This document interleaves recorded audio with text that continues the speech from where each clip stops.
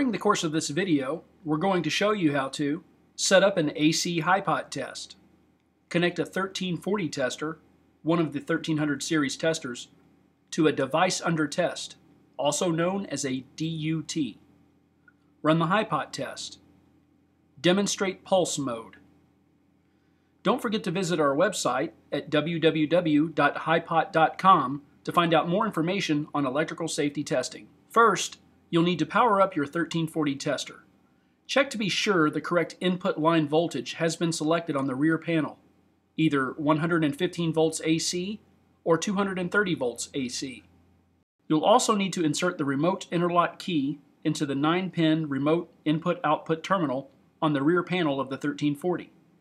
The tester will not output voltage unless this interlock key is properly plugged into the remote input-output. Note that only the 1340 testers have the interlock feature.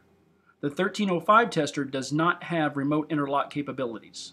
Connect the power input plug into its socket on the rear panel of the instrument. Connect the male end of the plug to the outlet receptacle. Now, turn on the power switch on the front panel of the 1340.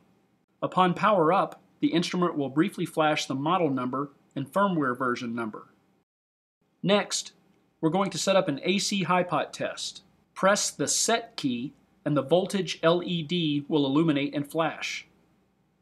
Use the up and down arrow keys to edit the AC HiPot voltage.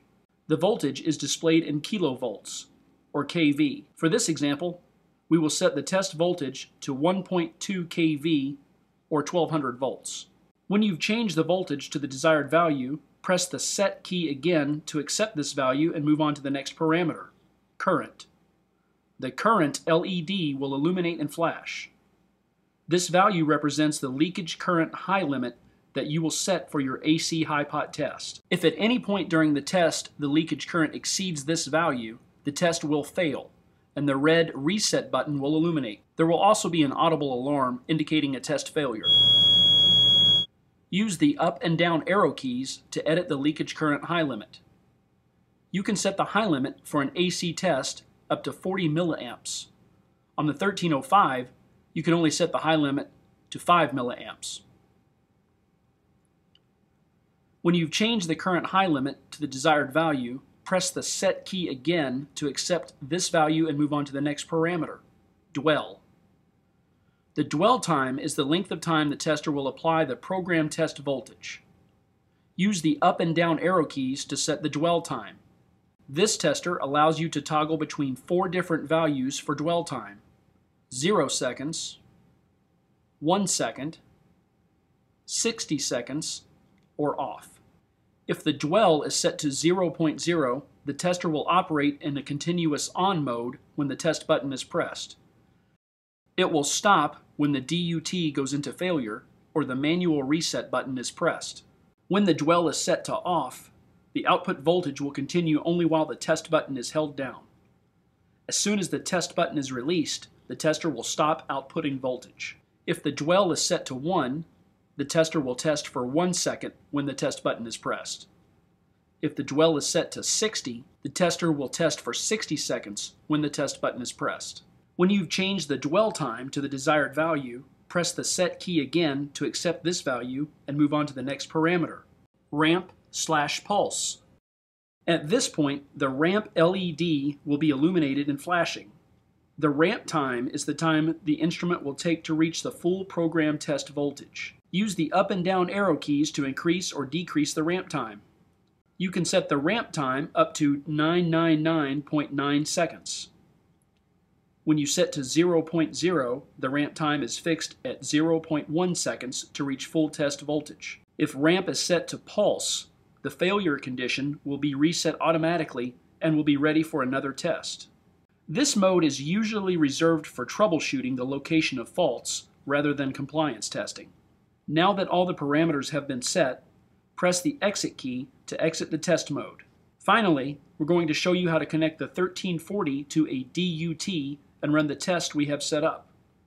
To connect the 1340 to the DUT, you're going to need the following accessories. The high voltage lead. The high voltage retractable probe. This can be used instead of the high voltage lead. The return clip lead. If using the optional universal style adapter box instead of the clip style leads, you will need the adapter box. First, plug the sheathed black connector of the return lead to the return terminal of the 1340 tester.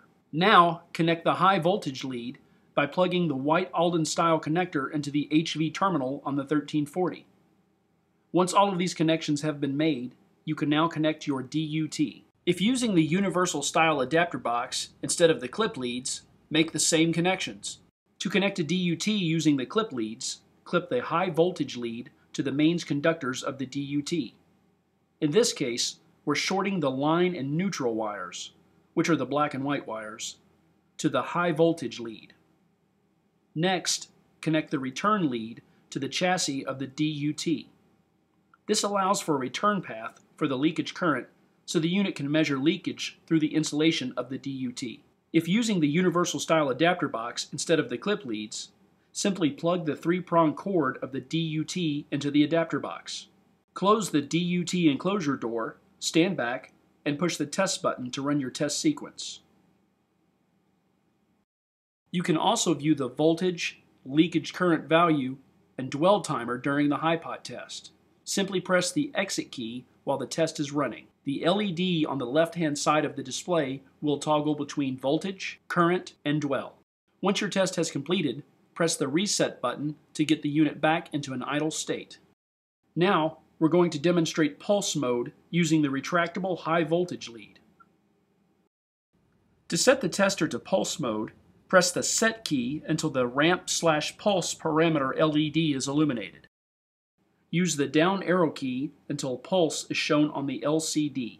For the purpose of this demonstration, the dwell time has been set to 0.0 for continuous output. Pulse mode allows you to check various points on a DUT without having to reset between each failure. This can be helpful when troubleshooting a DUT to look for problem spots in the insulation.